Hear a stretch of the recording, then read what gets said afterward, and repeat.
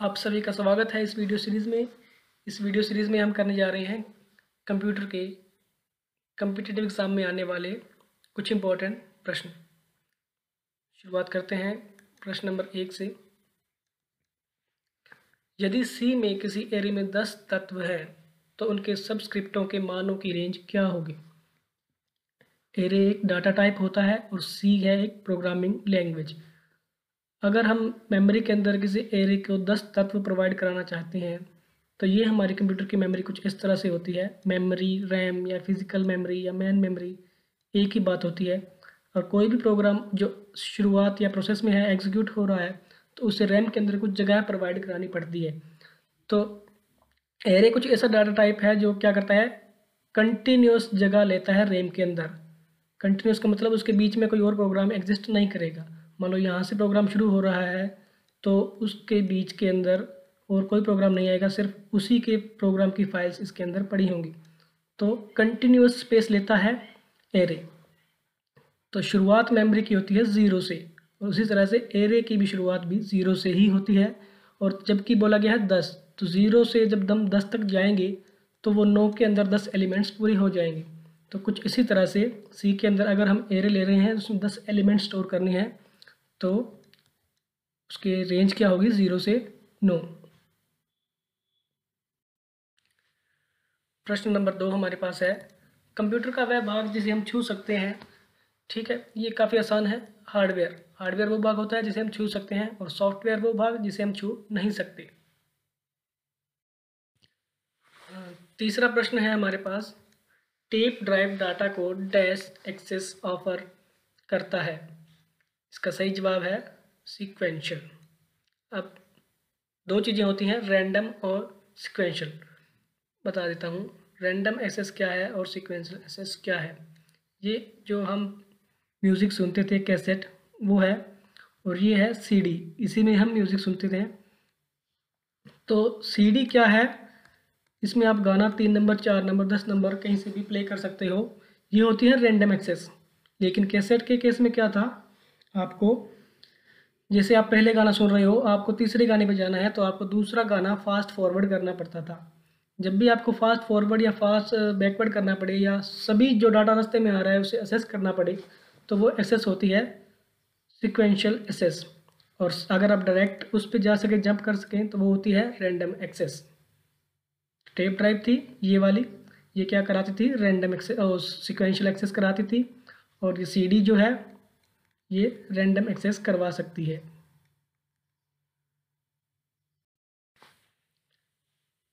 प्रश्न नंबर चार हमारे पास है। कोई एक्सेस डाटाबेस जिस फ़ाइल नाम से सुरक्षित किया जाता है उसका विस्तार भाग क्या होता है? डाटाबेस की जो भी फाइल्स हैं या आ, कोई एक्सेस है ठीक है? ये डाटाबेस के बारे में बात कर रहा है। डाटाबेस वो जो रिकॉर्ड्स रखते हैं जैसे बैंक वाले हमारा रिकॉर्ड रखते हैं किस खाते में कितना बैलेंस है, क्या नाम है इसका, कहाँ का एड्रेस है तो वो डाटाबेस होता है। तो अगर एम एस एक्सेस की बात करें, अगर वो डाटा रिकॉर्ड रखता है तो वो उसकी फ़ाइल की एक्सटेंशन होगी एम डी बी और ये एक्सेल किसकी फ़ाइल होती है? ये एक्सेल की होती है। एम एस एक्सेल की फ़ाइल ये होती है। और एम एस एक्सेस जो डाटाबेस स्टोर करने के काम आता है, उसकी एक्सटेंशन होती है एम डी बी प्रश्न नंबर पाँच हमारे पास है। डैश एक इलेक्ट्रॉनिक डिवाइस है जो डाटा को सूचना में परिवर्तित कर उसे प्रोसेस करता है।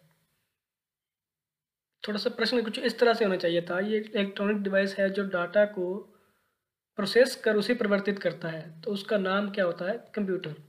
डाटा को पहले अंदर स्टोर करेगा, फिर उस पर प्रोसेस करेगा और उसके बाद वो सूचना में परिवर्तित हो जाएगा और वो होता है कंप्यूटर। कंप्यूटर ये काम कर सकता है। प्रश्न नंबर पाँच हमारे पास है। प्री डिफाइंड मीनिंग वाला करेक्टरों का एक समूह। ये क्या होता है? डाटा बेस अब इसमें कुछ वर्ड है जैसे प्री डिफाइंड करेक्टर्स ठीक है तो ये थोड़ा समझ लेते हैं। प्री डिफाइंड की प्री डिफाइंड का मतलब वो चीज़ें या वो शब्द जिनको कंप्यूटर का ऑलरेडी मीनिंग पता होता है। जैसे कि सी लैंग्वेज के अंदर बात करें तो सी लैंग्वेज के अंदर हम लगते हैं प्रिंट अगर लिखते हैं तो इसका मतलब कंप्यूटर को पहले से पता होता है कि इसके बाद में जो लिखा जाएगा वो मुझे सीधा सीधा स्क्रीन पे प्रिंट कराना होता है। तो इनके समूह को क्या कहा जाता है? डाटा बेस प्रश्न नंबर छः हमारे पास है। कंपाइलर हायर लेवल प्रोग्रामों को मशीन लैंग्वेज में ट्रांसलेट करता है, जिसे कहते हैं।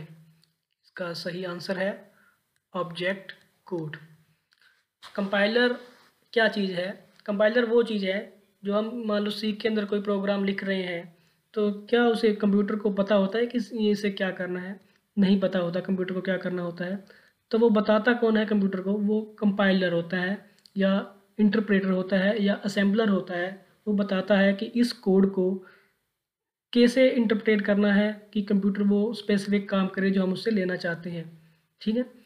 तो ये कंपाइलर इसे ऑब्जेक्ट कोड में परिवर्तित कर देगा। अगर सी के प्रोग्राम की बात करें, हमने एक प्रोग्राम लिखा है सी भाषा के अंदर तो उस भाषा के प्रोग्राम को क्या कहते हैं?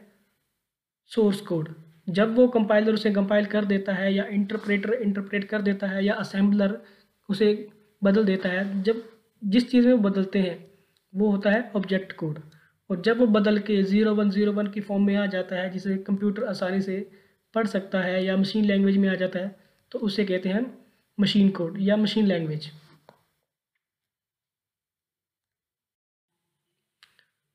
प्रश्न नंबर सात है हमारे पास। फ्लॉपी डिस्क पे डाटा डैश नामक रिंग्स पर रिकॉर्ड किया जाता है। डैश नामक रिंग्स स्टोर किया जाता है। तो डिस्क की स्ट्रक्चर देख लेते हैं किस तरह की होती है। फिर इसका आंसर भी पढ़ लेते हैं कौन सा होता है। ये कोई डिस्क है हमारे पास। इस डिस्क में डाटा स्टोर होता है। ये चीज़ें क्या होती हैं? इस बहुत सारे सर्कल्स होते हैं, इन्हें क्या कहते हैं? ट्रैक्स कहते हैं। ट्रैक्स के बाद जब ये कुछ पोर्शन बनते हैं, ठीक है, इस तरह से, इस पोर्शन को क्या कहेंगे? इसको कहते हैं सेक्टर तो ये पूछ क्या रहा है? फ्लॉपी डिस्क में डाटा डैश नामक रिंग्स अब रिंग्स कौन सी होती हैं इसमें? ट्रैक्स तो इसका आंसर क्या हो जाएगा? इस इन ट्रैक्स के अंदर डाटा स्टोर होता है। हार्ड डिस्क के केस में भी यही है, फ्लॉपी डिस्क में यही है। जहाँ पे डिस्क का नाम आ जाए, वहाँ पर ये सेम रहेगा।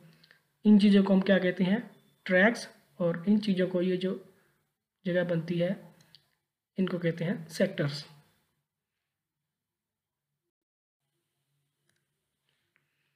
प्रश्न नंबर आठ क्या कहता है? किसी समस्या के समाधान या किसी कार्य को करने के लिए चरणबद्ध रूप से लिखे गए आदेशों के समूह को कहा जाता है। इसका आंसर होता है एल्गोरिदम और बता दें कैसे। जैसे कि मान लो आपने कॉलेज जाना है तो पहला स्टेप होगा आप उठेंगे वेकअप दूसरा, आप नहाएँगे, ठीक है फ्रेश होंगे।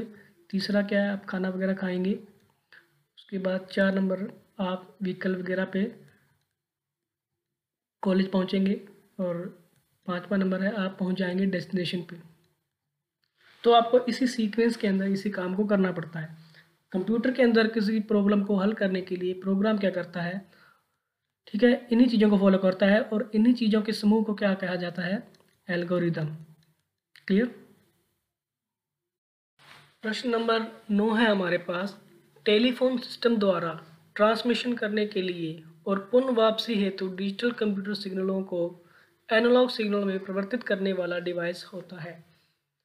ये डिवाइस कौन सा होता है? ये होता है मॉडर्न ठीक है ये मॉडर्न होता है, ये काम कैसे करता है? जब भी जो इंटरनेट हम यूज़ करते हैं या डिवाइस जो हम यूज़ करते हैं तो सिग्नल्स किस तरह से आते हैं? कुछ इस तरह से। एनालॉग सिग्नल कहा जाता है इन्हें, और हमारा कंप्यूटर जो सिस्टम समझता है, वो होता है सिग्नल कुछ इस तरह का होता है। वो डिजिटल सिग्नल समझता है। तो बीच में एक ऐसी डिवाइस होती है जो इन एनालॉग सिग्नल्स को डिजिटल में कन्वर्ट करे और डिजिटल सिग्नल्स को एनालॉग्स में कन्वर्ट करे तो वो होता है मॉडेम ये मॉडम होता है। मॉडम का full form modulator demodulator जब भी ये बाहर से कोई डाटा कंप्यूटर के अंदर लेके आता है तो एनालॉग को डिजिटल में कन्वर्ट करता है और जब से कंप्यूटर के अंदर से कोई डाटा बाहर भेजता है इंटरनेट पे तो ये डिजिटल को एनालॉग में कन्वर्ट करता है। प्रश्न नंबर दस है हमारे पास। आपके कंप्यूटर का एवरीथिंग कंपोनेंट या तो डैश होता है या ठीक है? तो इसका जवाब क्या है? आपका कंप्यूटर किन चीज़ों से बना है? ये वो पूछना चाहता है असल में। तो आपके कंप्यूटर या दुनिया का कोई भी कंप्यूटर सिर्फ़ दो चीज़ों से बना है, हार्डवेयर या सॉफ्टवेयर। कंप्यूटर के जो भी इंस्ट्रूमेंट लगे हुए हैं या जो भी कॉन्फ़िगरेशन है कंप्यूटर की, या तो वो हार्डवेयर होता है या वो सॉफ्टवेयर होता है। इन दोनों चीज़ों के अंदर सभी चीज़ें आ जाती हैं, चाहे वो आपका मोनीटर हो, प्रोग्राम हो, कोई भी चीज़ें। हार्डवेयर होता है या सॉफ्टवेयर होता है?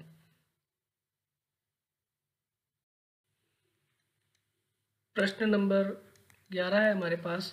सॉफ्टवेयर का प्राथमिक प्रयोजन डाटा को देश में परिवर्तित करना होता है।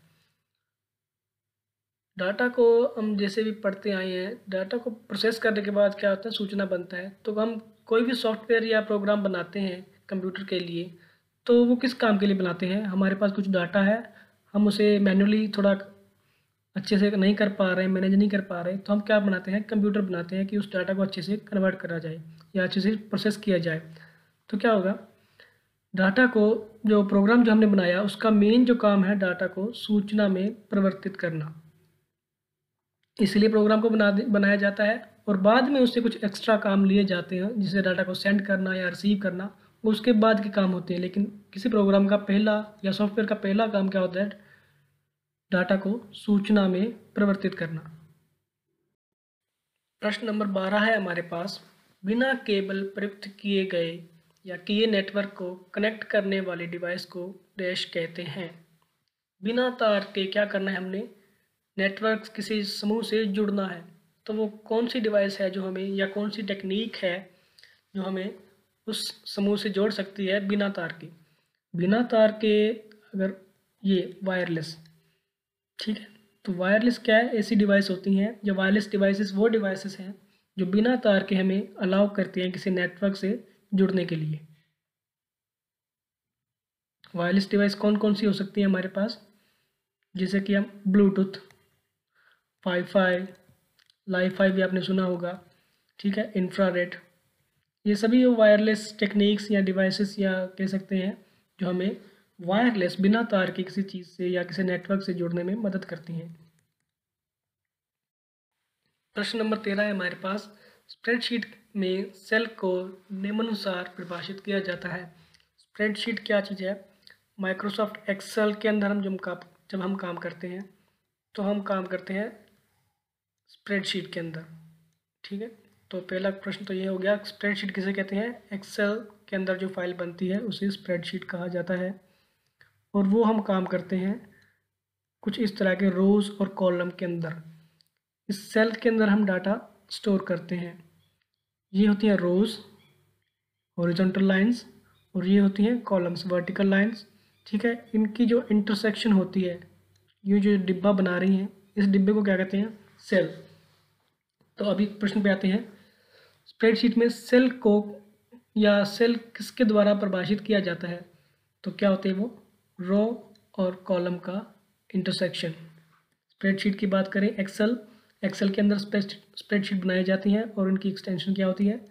एक्सेल एस 2007 तक के वर्जन के अंदर और 2007 के बाद के वर्जन में क्या होता है?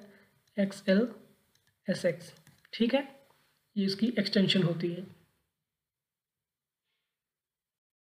प्रश्न नंबर चौदह है हमारे पास। पत्र लिखने जैसे कार्य करने के लिए प्रयुक्त सॉफ्टवेयर को के प्रकार को डैश कहते हैं।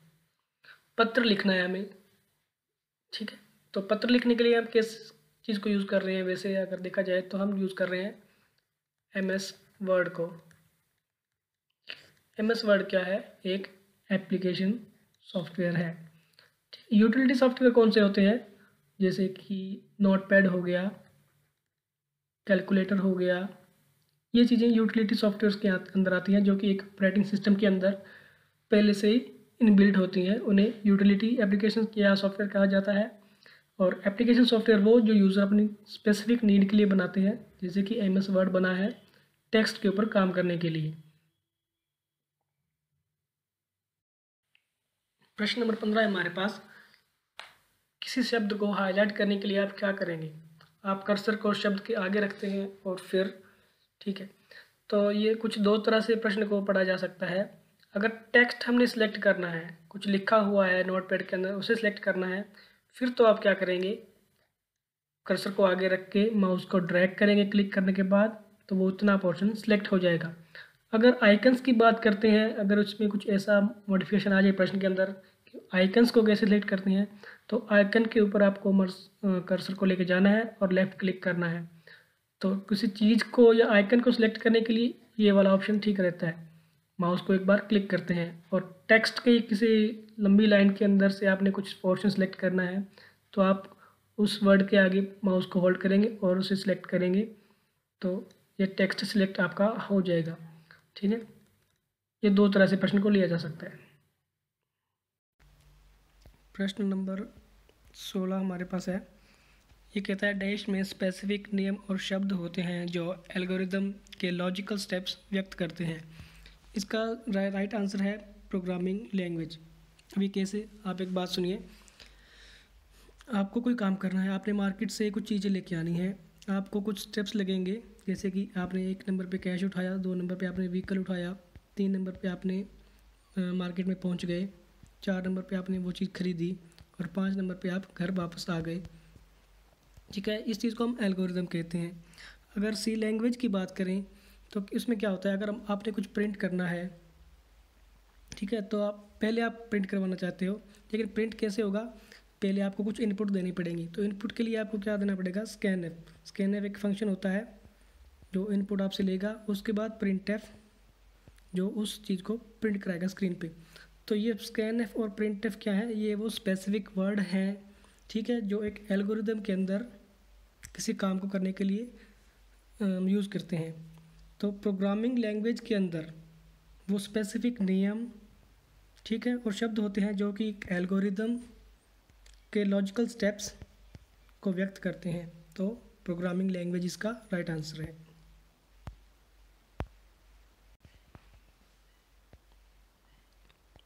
प्रश्न नंबर सतारह है हमारे पास। वेबसाइट एड्रेस एक यूनिक नाम होता है जो वेब पर एक स्पेसिफिक डैश को आइडेंटिफाई करता है।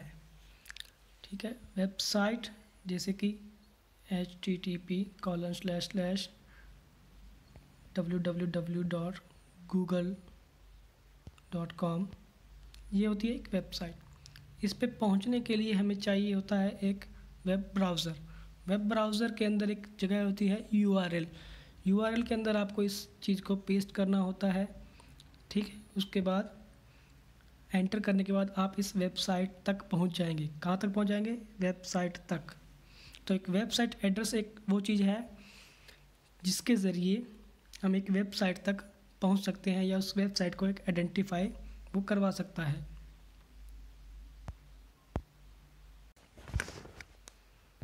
प्रश्न नंबर अठारह हमारे पास है अभी। किसी डायरेक्टरी को हटाने के लिए कौन सा आदेश दिया जाता है?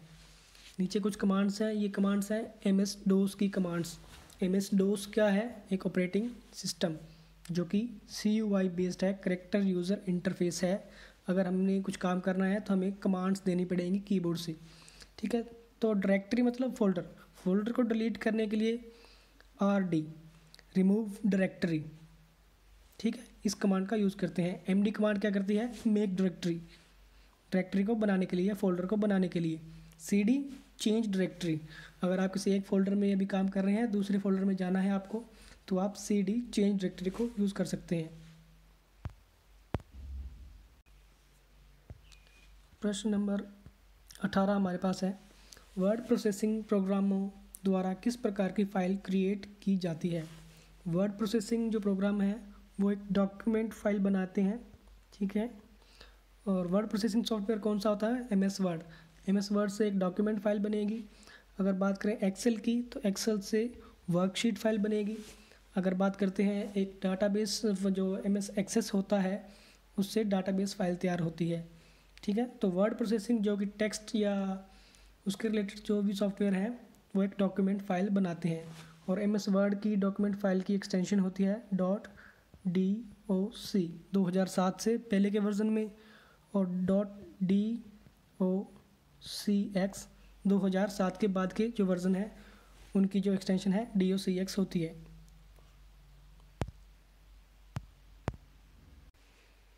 प्रश्न नंबर उन्नीस हमारे पास है। एक यूनिक नाम होता है जो आप सूचना की किसी एक फ़ाइल को देते हैं। फाइल्स को नाम देने की बात कर रहा है। तो फ़ाइल के नाम को क्या कहते हैं? फ़ाइल नेम जैसे कि हमने एक गाना स्टोर किया है तो गाने का नाम मान लो ए बी सी है तो A B C dot M P three उस फ़ाइल का नाम होगा या उसका एक यूनिक नाम होगा। जबकि बात करें एक्सटेंशन की तो एक्सटेंशन यूनिक नहीं होती। मान लो एक फ़ोल्डर के अंदर काफ़ी सारे गाने हैं तो सभी की format dot M P three हो सकती है, लेकिन उनका नाम जो है फ़ाइल नेम वो हमेशा यूनिक रहता है। प्रश्न नंबर बीस।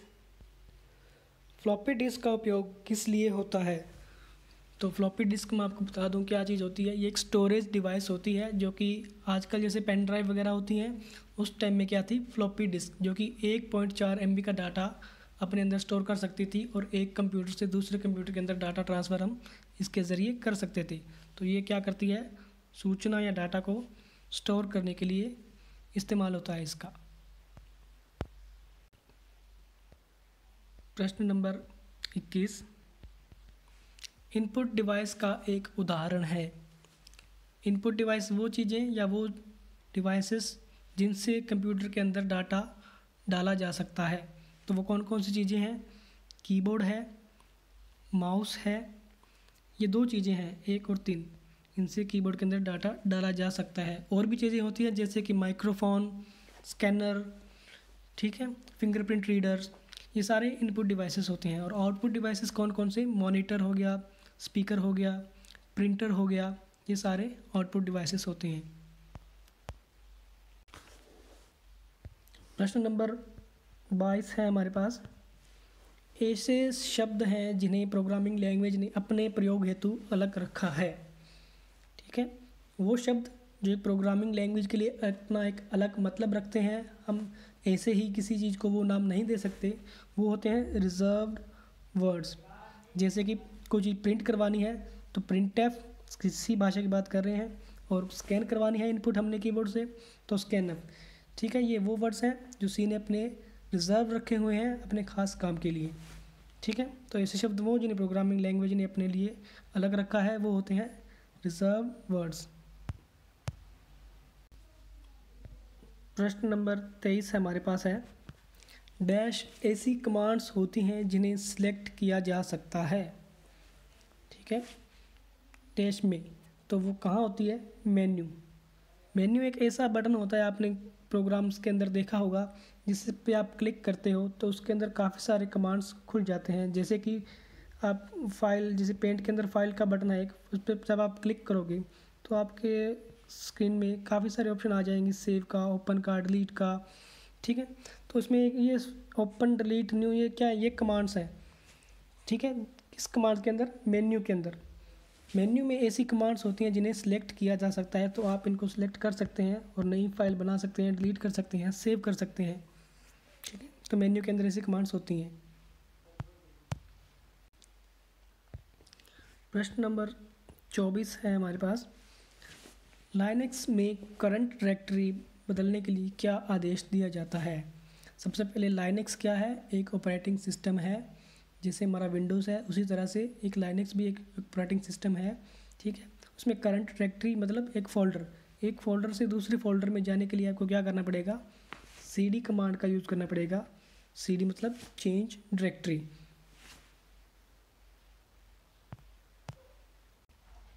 प्रश्न नंबर पच्चीस है हमारे पास।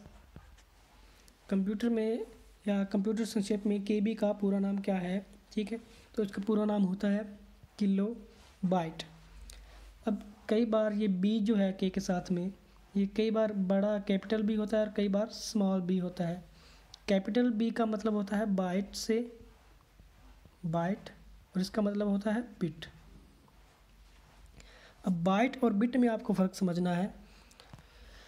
जो बिट जो है बाइनरी के अंदर जैसे ज़ीरो या वन, ठीक है? तो ये एक बिट है। ये भी एक बिट है, ये भी एक बिट है। बिट का मतलब ज़ीरो हो सकता है या वन हो सकता है। सिर्फ़ एक या जो सिंबल होगा, वही होगा बिट के अंदर। लेकिन बाइट के अंदर क्या होता है? इन जो सो आठ के समूह को हम बाइट कहते हैं। या आप सीधी भाषा में कह सकते हैं, एक बाइट जो होता है, वो बराबर होता है एट बिट्स के। ठीक है? तो कैपिटल बी का मतलब और स्मॉल बी का मतलब बिट से। कैपिटल बी बाइट और स्मॉल बी बिट। प्रश्न नंबर छब्बीस है अभी हमारे पास। Dot B A S dot D S और डॉट एच टी एम किसके उदाहरण हैं?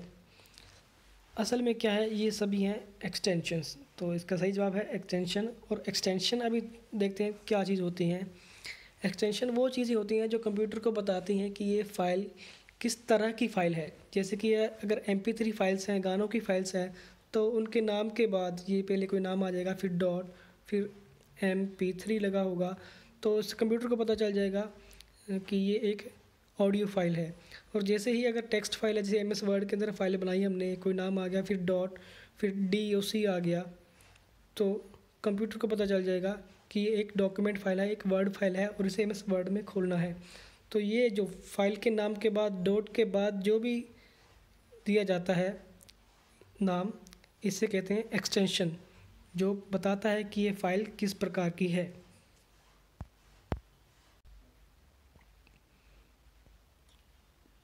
क्वेश्चन नंबर सताईस अभी हमारे पास है।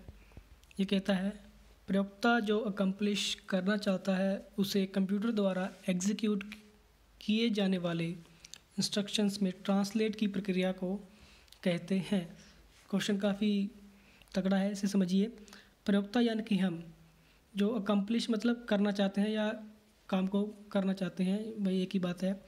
तो उसे कंप्यूटर द्वारा हमने वो काम करवाना है, कंप्यूटर द्वारा एग्जीक्यूट मतलब करवाना है कंप्यूटर द्वारा। तो क्या करते हैं इंस्ट्रक्शन जो है उनको ट्रांसलेट करना है। इंस्ट्रक्शन कौन सी, जैसे हम मैन्युअली काम करते हैं कोई, जैसे कि हमने कोई जोड़ घटाव का काम करना है तो हमें डॉक्यूमेंट पर लिखना पड़ता है, जोड़ करना पड़ता है रिज़ल्ट लिखना पड़ता है। तो वो कुछ काम जो मैनुअली कर रहे हैं, उसे ट्रांसलेट करना। ट्रांसलेट करना मतलब उसको कंप्यूटर की भाषा में एक प्रोग्राम बनाना। जिससे कि कंप्यूटर उस काम को कर पाए जो अभी तक हम मैन्युअली कर पा रहे हैं। तो प्रोग्रामिंग इसका सही जो आंसर है, अभी इसको दोबारा पढ़ते हैं। प्रयोक्ता जो अकम्प्लिश करना चाहता है, उसे कंप्यूटर द्वारा एग्जीक्यूट किए जाने वाले इंस्ट्रक्शंस में ट्रांसलेट की प्रक्रिया को प्रोग्रामिंग कहते हैं। हम जो काम मैनुअली कर रहे हैं, अगर हम चाहते हैं कि वो काम एक कंप्यूटर करे तो हमको उस सभी इंस्ट्रक्शंस को क्या करना पड़ेगा? एक प्रोग्राम के अंदर लिखना पड़ेगा, तभी वो कंप्यूटर वो काम कर पाएगा।